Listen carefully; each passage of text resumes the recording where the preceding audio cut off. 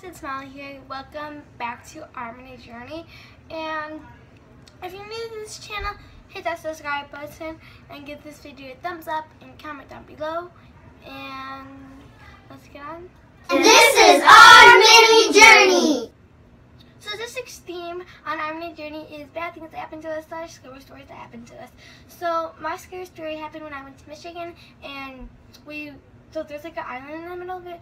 So we went to go swimming, to go swimming or in fishing, and so the it started to rain like thunder and lightning and stuff. Like we're in our boat, and by our house the waves were too choppy to go back. So we went in the island. We docked the well, we docked the boat onto the island, and let's get up a little bit. And it was really bad because we heard a lot of thunder and lightning. There was bears in where, where we were. Um, so that's bad. And, excuse me.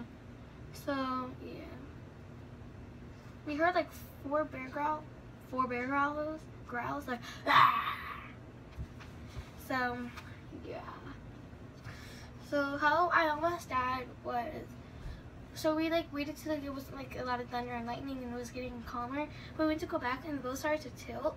So me and my mom went in the front of the I mean, in the back of the boat, my brother went in the middle, and my dad and my sister, sorry, my dad and my sister went in the front of the boat. So they kind of bounced it out, and then we went the long way that took like a half hour, but we could have took like five minutes. But it wasn't choppy, so then we took that way, and that was fine.